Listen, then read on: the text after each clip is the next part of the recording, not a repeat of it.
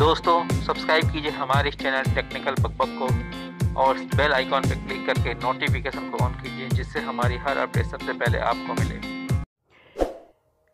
नमस्कार दोस्तों, एक बार फिर से आपका स्वागत है हमारे इस वीडियो में। दोस्तों, आज की इस वीडियो में आपको बताने जा रहा हूँ कि किस तरह से आप जनरल टिकट भी रेल का आप अपने मोबाइल से बुक कर सकते हैं। जी हाँ आज से पहले सिर्फ़ आप रिजर्वेशन कर सकते थे, लेकिन अब आप रेलवे का टिकट भी बुक कर सकते हैं।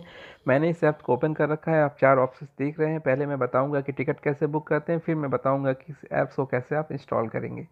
यहाँ पे आप प्लेटफॉर्म टिकट भी लेना चाहें तो ले सकते हैं और नॉर्मल टिकट भी। तो मैं नॉर्मल टिकट पर क्लिक करता हूँ। यहाँ पर दो ऑप्शन है, पेपरलेस एंड पेपर। तो आपको यहाँ पर पेपरलेस सेलेक्ट करना है। जब आप पेपरलेस पे क्लिक करेंगे तो आपका जीपीएस ऑटोमेटिक ऑन हो जाएगा और आपके नियर बाई का जो भी स्टेशन है उसे शो करेगा। ज़रूरी नहीं कि आप जो शो कर रहा है उसी को सेलेक्ट करें, आप कहीं और का भी डाल सकते हैं, यानी किसी भी जगह से टिकट आप बुक कर सकते हैं। मान लीजिए मैंने यहाँ पे गोरखपुर सेलेक्ट कर लिया और यहाँ पे मैं लखनऊ सेलेक्ट कर लेता हूँ। लखनऊ में कई स्टेशन है, सारे स्टेशन की लिस्ट आ गई। मुझे लखनऊ सिटी का करना है तो लखनऊ सिटी ले लिया डन किया। डन करने के बाद से आपको यहाँ पे मेंशन करना है कि कितने जने का टिकट चाहिए। एक, दो, तीन, चार कितने लोग चाहिए? कितने बच्चे आपके साथ हैं? नहीं बच्चे हैं तो ज़ीरो रहन दीजिए। सेकेंड क्लास का ये तो आप बाय डिफ़ॉल्ट है। पेमेंट का ऑप्शन आपको यहाँ पे करना होगा और रेल सेलेक्ट करना होगा। तो यहाँ पे ऑर्डनरी बाय डिफ़ॉल्ट है। आप यहाँ पे मेल एक्सप्रेस और सुपर फास्ट सेलेक्ट कर सकते हैं। लेकिन मैं यहाँ पे ऑर्डनरी रहने देता हूँ। ऑर्डनरी के बाद से मुझे यहाँ पे रेल वॉलेट से पेमेंट कर सकता हूँ या फिर डेबिट कार्ड या क्रेडिट कार्ड से भी कर सकता हूँ।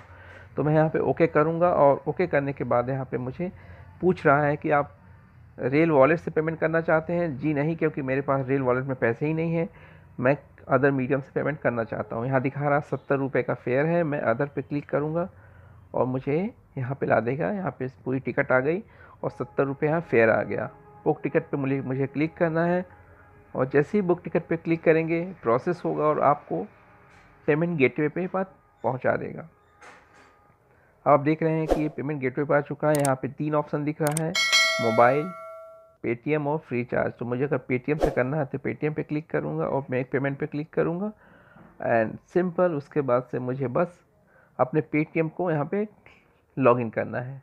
चाहे सी बात है कि मोबाइल में पेटीएम होगा तो लॉगिन करेंगे और आपके सत्तर रुपये आपके पेटीएम से कट जाएँगे और आपका टिकट बुक हो जाएगा। और आपके इस मोबाइल पे जो मोबाइल आपने रजिस्टर्ड किया है इस ऐप से उस पर एक मैसेज आ जाएगा कि आपका टिकट यहाँ से यहाँ तक का बुक हो चुका है।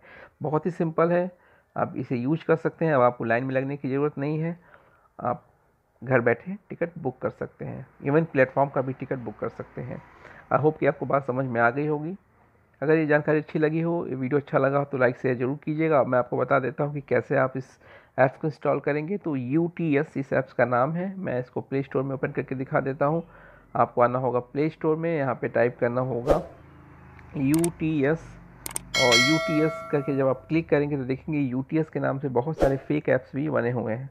लेकिन आपको सिंपल देखिए यहाँ तीसरे नंबर का जो ऐप्स है, जो मैंने इंस्टॉल कर रखा है शो हो रहा है, इसे ही आपको इंस्टॉल करना है। ऑफिशियल ऐप्स है, बाकी जितने बने हुए हैं U T S mobile tracking वगैरह सब फेक हैं, लोगों ने बना रखा है, बेकार का।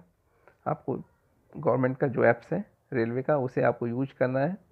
और आप इसे यूज़ करके टिकट बुक कर सकते हैं। अगर जानकारी अच्छी लगी हो तो फिर से कहता हूँ, इसको लाइक और शेयर ज़्यादा ज़्यादा ज़रूर कीजिएगा। फिर मिलूँगा कुछ और जानकारियों के साथ। तब तक के लिए यूँ हँसते और मुस्कुराते रहिए। दोस्तों।